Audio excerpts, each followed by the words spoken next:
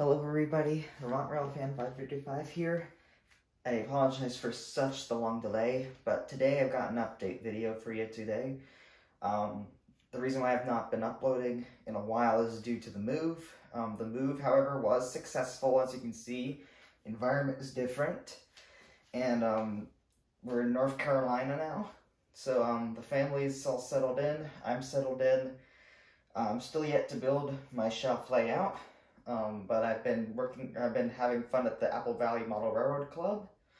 So yeah, um, move went very well, so I can't fault that. So for an update um, regarding videos, um, the channel's not dead. I'm gonna bring it, um, it's gonna still be going, um, but it's gonna be take, take longer than expected. Um, so the last video I posted was the update video regarding the 2023 Amherst train show. The next video you should expect to come out eh, from my channel, it will be that video, the Amherst Train Show visit. Now that will be the first, next video to go up, but this update vid will be the first one to go, and then I'll upload the show vid.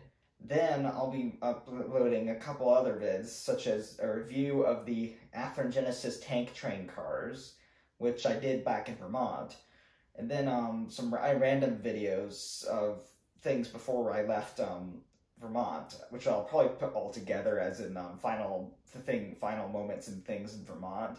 That'll be next. Um, and then um, I'll have two new reviews coming up shortly.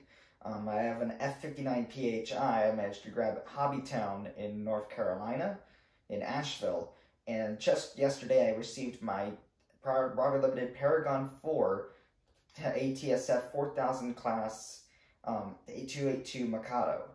So, that's the queue right now. Um, after this vid, I'll be starting the F59 PHI review, and then a little bit later on, I will review the the Mikado steamer.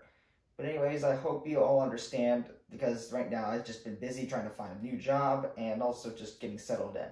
But I hope you all understand. Thanks for understanding, and keys hit bells. Please make sure you are subscribed. Please hit that bell so you make sure you know when I finally upload. And I promise to have stuff out soon. And regarding more updates, the F the SD40T-2 uh, is being has is been canceled, but I have a new one from Athearn ready to roll that is now should be here this October, and the RS1 should be here this summer from Atlas. Anyways, thanks for the understanding, and please feel free to let me know in the comments of what you guys think of this new area, what, what you guys think of the new er, room I have. Anyways, thanks for watching. See you next time.